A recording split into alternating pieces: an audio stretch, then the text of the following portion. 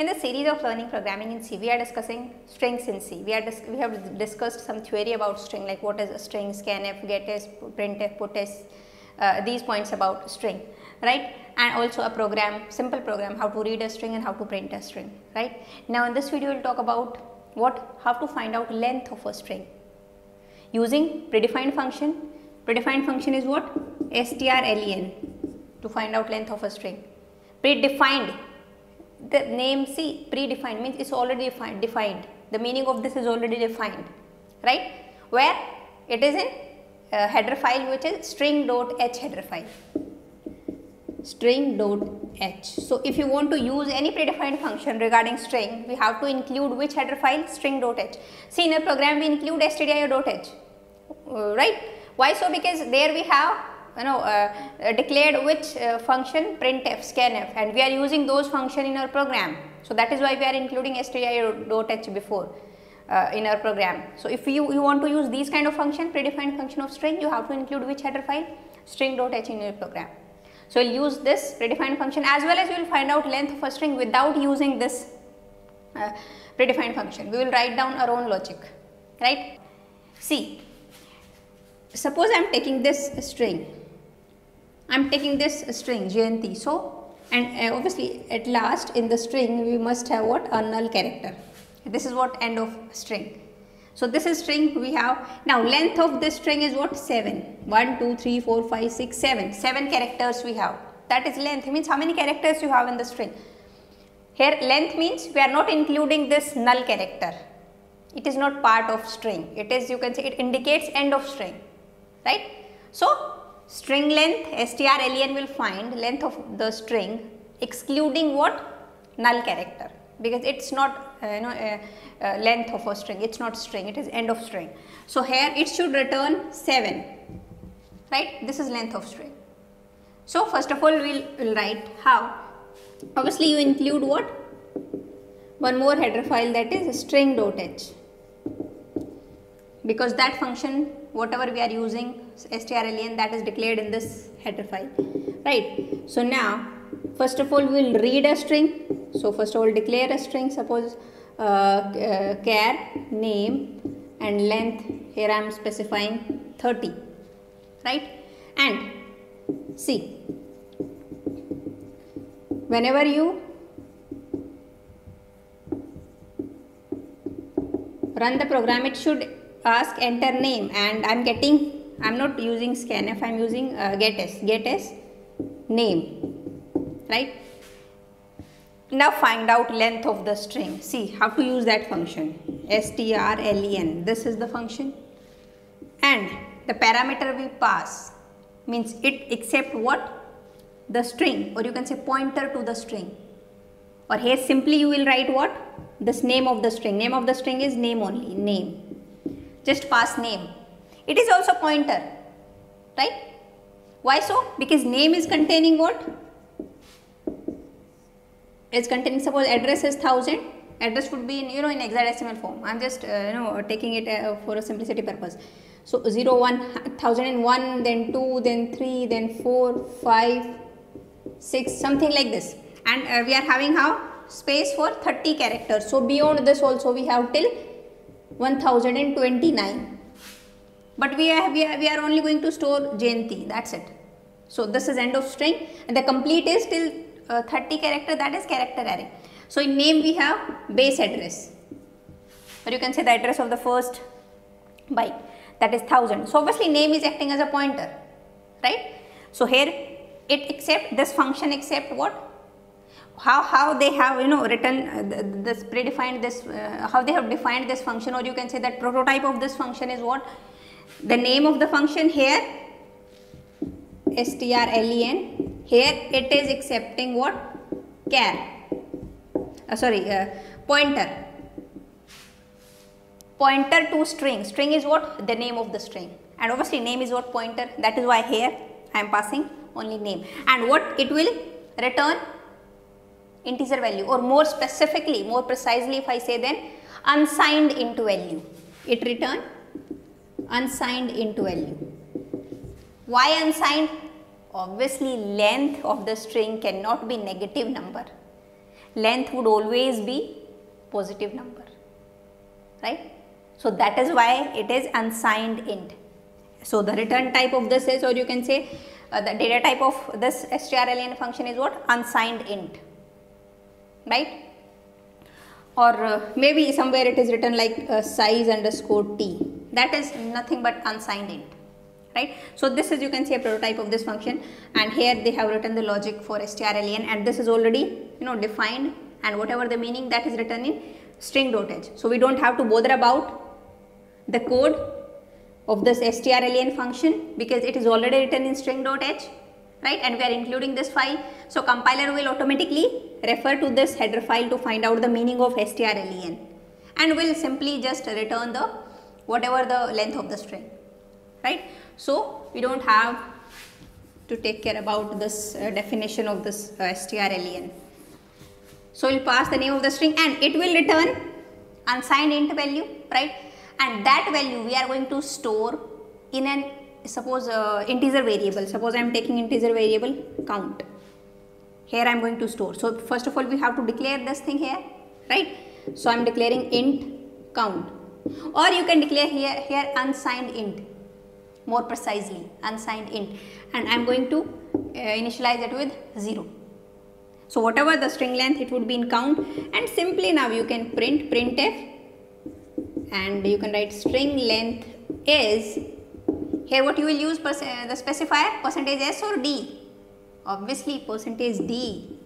Because we are uh, you know printing length. Length is what integer percentage d and count. And that's it. You will get the output count. If you are entering string Jayanti you will get 7 if you are entering Jayanti like this.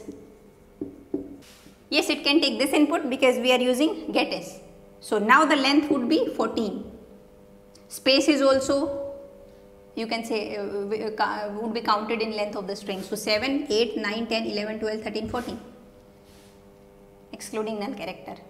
So, I think if you use uh, predefined function that is very simple to find out length of the string, nothing is there, right. But second variant is if you do not use this strlen function, then we have to write down our own logic. So, we are not using this function.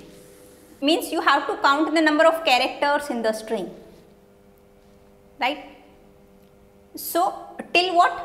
Till you find you find that uh, null character. Until you find null character, you have to count, you have to count number of character in the string. That's it. So, character by character means count is 0. Once we find first character j, then count should be 1. Then if we, you know, then next traverse this a, then count should be plus 1. Next plus 1, plus 1, plus 1 till you find null character, right. So, we are increasing this count or you can see we are traversing this string till here. So, we are using obviously we have to use for loop, uh, sorry loop either for while or do while it is up to you, you can use any loop. So, here I am using the condition is while, while name is what name of the string is name and now I am accessing individual character. So, name of i, I am providing index also index 0 then we will switch to first index then second then third then fourth fifth and sixth and then seventh. Right? If name of i not equal to null. See null is character so i am providing in single quote. While name of i not equal to null till then we will count we will do count plus plus. We will increase the count. Count plus plus. Right and obviously we are taking i. So, i is for for this index. So, index is also first 0 then 1 then 2 it is also increasing. So, we have to do i plus plus also obviously name of 0 then first then second then third like this and that is it. And after this while loop you can print printf percentage d and count and before using i we have to declare this i here int is int i right. So, see now the working of this let us try it on this suppose I am entering it is asking enter name I am entering Jayanti only right gets name Jayanti has been stored. Now while name of i, now i is what? First i is what? We are initializing i first 0. See while loop, the syntax of using while loop is what? Initialization, then in while loop we, write condition, then within this while loop we are using increment and decrement. Three parts are there in loops. In for loop, all the three parts are within at the same uh, you know location at the same place but here three different places so i is 0 C. here we have count and i 0 0 at starting name of 0 excess name of 0 name we are providing the you know uh, that what uh, address so name of 0 is what this one j is j equal to null character no okay its condition is true because it's not equal. We enter here count plus plus, count becomes 1. i plus plus, i becomes 1. Now, i becomes 1, again check here. Name of, now i is 1. Name of i, name of 1, 1, this one, is this null character? No, count plus plus, i plus plus. Again, i plus plus, now i is 2, name of 2 is y, is null character? No, condition true, count plus plus, i plus plus. Now name of 3, index is 3, it is also not null character, count plus plus, i plus plus. Now name of 4th index not null character, again enter in this loop, count plus plus, i plus plus. Now name of 5 not equal to null character, yes true, enter into this, count plus plus, i plus plus. Now name of 6, yes condition true, count plus plus, i plus plus. Now 7 name of 7 now see name of at the 7th index yes it is null character. So the condition is not true. Right? So uh, that is why we are not going to enter into this loop exit from the loop and whatever the statement you have written outside of the this loop you know just after this loop that will be printed so here i am printing percentage d count count value is 7 so 7 would be printed and the length is 7 only and if you store Jayanti space Khatri, then at 7th position we are having space. So, space is also not null character. ASCII value of space is no not equal to ASCII value of this null character. ASCII value of null character is 0. ASCII value of space is something different. So, that is not true, right. So, again enter here count plus plus count becomes 8. So, till 14 it will print till Khatri I after that it will stop. So, I hope you got both the logics right. Now let me show you this thing on my laptop. So now let me create one file for you and I am taking name string length string length dot c right? Header file and also will include what? String dot h this header file because we will use it should be string dot h right? Int main and here what? First of all we are taking a string. Suppose I am taking name uh, name of the string is name and length is 30 right? And int count one variable as well as i is equal to 0 2 we are taking right? And here I am asking enter name. Will take input using get s. So, here just pass the name of the string that is name that is it. Now, let me just uh, use that function first. Strlen and here what it will accept? Pointer to the string. And pointer is obviously name is name of the string is also it, it's an internal pointer. It acts as a constant pointer to the string. Passing name. And uh, that's it. And just we are printing length of the string length of the string is no sorry percentage d and uh, count. Right? And if you want to print string then you can use puts and name. So it will print string also and the length of the string also. Now let me run this program. It should ask first uh, enter name. Right and uh, see it is asking enter name. I am just providing Jayanti Khatri space Khatri. So see it is first of all printing the string and the length of the string is 14 right? In the next line. We are not using any slash n but still it is giving output in the next line length of the string because puts we are using puts it will automatically you know add a new line at the end of the output right? Next output would be in the next line. So i hope you got string length. Or more specifically if you want you can specify it int not int count unsigned int. Because obviously we know uh, that uh, data type of this strlen function is what? Unsigned int. It will always return positive value. No no no negative value. So now we will see we will not use this strlen and now we use our own logic. So here i am writing while loop. While name of i sorry name of i not equal to what? Null character.